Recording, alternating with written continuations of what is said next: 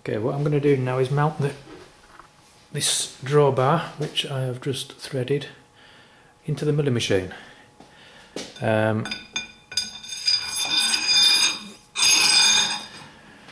this dividing head has a Boxford chuck on it, um, which allows for a bigger drawbar to come through the, the, uh, the spindle. Um, basically, I'm going to put four flats on here using this uh, dividing head. Uh, I might end up supporting it with the tailstock, I'm not too sure yet. Uh, it is reasonably rigid, is that. Um, so I'll mount everything up and set the whole machine up and then I'll start recording. Okay, I'll just give you a quick intro in how to operate a dividing head. You start off with a fraction um, it's a 40 to 1 worm gear ratio, so you start off with 40 over however many divisions that you want um, your workpiece divided into. Uh, this example, I've got uh, seven divisions just as an odd number to make it a little bit more complicated to work out because the, the dividing that I'm actually going to be doing is only four, uh, four flats on the uh, the drawbar, so it, it's not as complicated, isn't that? Um, so you start off with 40 over 7. That, that uh, reduces down to 5 and 5 sevenths. So that's 5 full turns and 5 sevenths of a turn, which equals 5 full turns plus 5 holes in a 7 hole plate.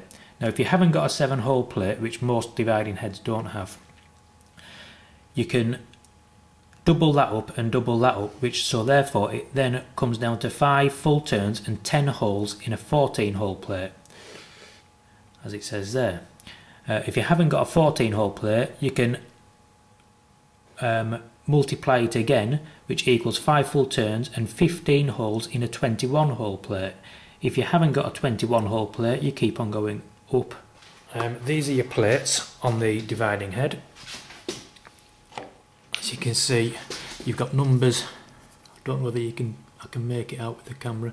You've actually got numbers there. You've got 21, 23, 27, 29, 31 and 33 at the top. Um, the, these dividing heads do come with three sets of plates um, and you, I know for a fact that these dividing heads can do any division from 1 to 50 and then over 50 it does around about 60% of them up to 100. Um, so it does plenty of divisions. Uh, but I'm actually only going to be doing four flats, so I know I'm going to have to start. I can use any plate and any set of holes, and four divisions means because it's a 40 to 1 gear ratio, it will have to be 10 full turns of this, which will move this one quarter of a turn, which will which will create four flats. Um, the way I'm going to do it at the moment, I'm just going to, I've got this bit here which needs taking off, so I'm going to skim it down, um, do it four times and then check it with a spanner. I want this 21mm spanner to fit over it, so I can, the spanner fits uh, reasonably nicely now. So I need to move that square section further up here so I'll take a, a few more cuts now.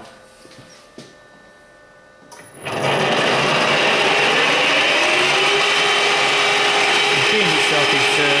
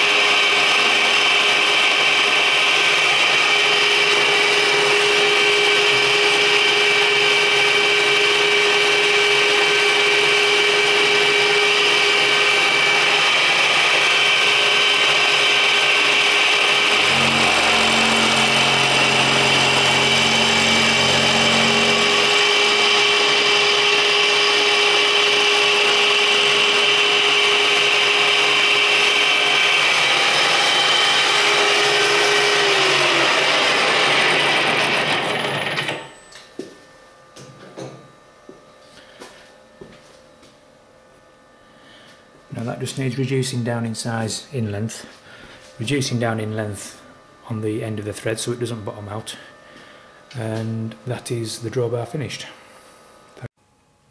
Just to compare both drawbars